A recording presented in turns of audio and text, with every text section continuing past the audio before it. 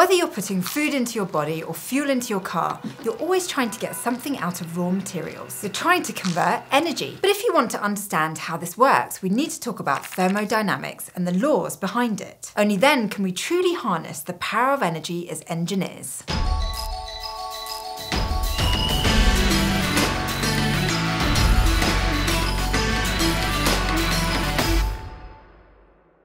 Energy is constantly being converted all around you. When you take a bite of an apple, you take in the fruit's energy and convert it into something that your body can use. Maybe you use it to power the marathon you're training for. Maybe it'll go to power your normal bodily functions or you might store the energy to use later as fat. But many energy conversions don't just happen on a personal scale. They're also at the core of many engineering designs, like with hydroelectric dams. In a hydroelectric dam, water turns a turbine, which then turns a metal shaft in an electric generator, converting the movement of the water into electricity. These conversions are important because energy doesn't just come out of nowhere. It needs to come from some other type of energy. So to better understand how energy can be converted, you need to understand thermodynamics. Thermodynamics is the branch of physics and engineering that focuses on converting energy, often in the form of heat and work. It describes how thermal energy is converted to and from other forms of energy and also to work. And thermodynamics is one of the main focuses of mechanical engineering because thermo, as it's often called, is critical to engines. Engineers need to know how much heat or work they'll get out of an engine if they put energy into it. We'll talk a lot more about engines in the next episode. Even when we're not focused on heating or cooling something, like with heat pumps and refrigerators, we still don't want our machines overheating. After all, engineering is not just about getting more of what we want, but also controlling what we don't want. It's not just mechanical engineers that deal with thermodynamics. It also plays a big role in chemical engineering. When chemical reactions form new compounds, they often create energy, and often that energy is thermal energy. Now, to understand how all this works, we should start at the bottom, the zeroth law of thermodynamics. Yes, that's really what it's called. We only came to understand the zeroth law after its more famous siblings, the first and second laws, had already been established, but it was considered so fundamental to thermodynamics that it was promoted to be more than first. So zeroth. Now this law focuses on temperature and defines thermal equilibrium. In general, an equilibrium is where certain properties like pressure, volume or temperature remain the same across the system. So if two or more things are in thermal equilibrium, then they're all at the same temperature. The zeroth law says that when two objects are individually in thermal equilibrium with a third object, then they are also in equilibrium with each other. This is important because when a body is left in a medium at a different temperature, energy will be transferred until a thermal equilibrium is established. That's why if you leave a cold soda out in the sun, it will warm up and reach the same temperature as the air outside. The basic ideas behind why this happens lie within the next law, the first law of thermodynamics. The first law of thermodynamics applies the law of conservation that we learned a few episodes ago to thermodynamics. It basically defines heat as a form of energy, which means it can neither be created nor destroyed. So we can't create or destroy energy, but we can convert it from one form to another. This might seem pretty simple, but it's a powerful idea. It allows us to better understand a system, how we can get energy from it, or how we can stop the conversion of energy when we want to. Now, no matter what system you're looking at, there are two areas of energy that we need to concern ourselves with. The energy contained within the system and the energy that can move between boundaries. Let's start with the energy inside a system. We can break it down into three main parts. The first is kinetic energy. This is the type of energy that's involved with movement. The most common form is translational kinetic energy, which is when something moves from one location to another. There's also rotational kinetic energy, when something spins or rotates, and vibrational kinetic energy, when something shakes or vibrates. Think about it in terms of throwing a baseball. As it flies through the air, the ball will have kinetic energy. The kinetic energy would be translational as it moves from your hand to your friend's mitt, and rotational as it spins through the air. The second type of energy inside a system is potential energy. This is energy that can come from where something is, even if it's not moving.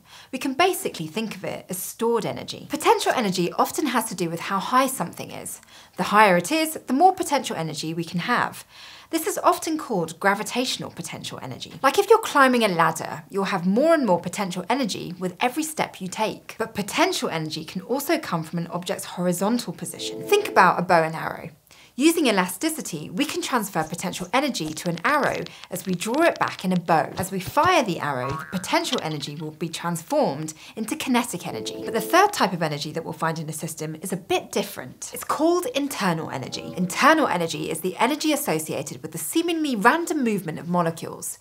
It's similar to kinetic or potential energy, but on a much smaller microscopic scale. Take a glass of water, for example. As it just sits there on the table, the water doesn't seem to be moving. But on a microscopic level, the water is teeming with molecules that are travelling around at super high speeds. While this type of energy might not seem as important, it can have major effects on a system.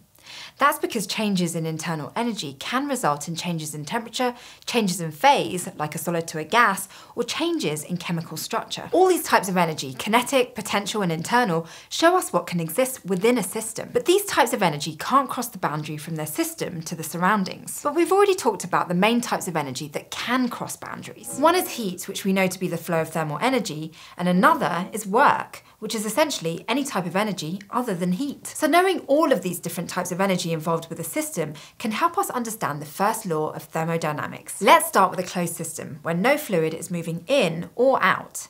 A good example would be a piston enclosed in its cylinder. The first law of thermodynamics states that the change in internal energy, kinetic energy, and potential energy of a system is equal to the heat added to the system minus the work done by the system. This equation may look pretty complicated, but there are a few different scenarios that can help clear it up. One is the stationary system.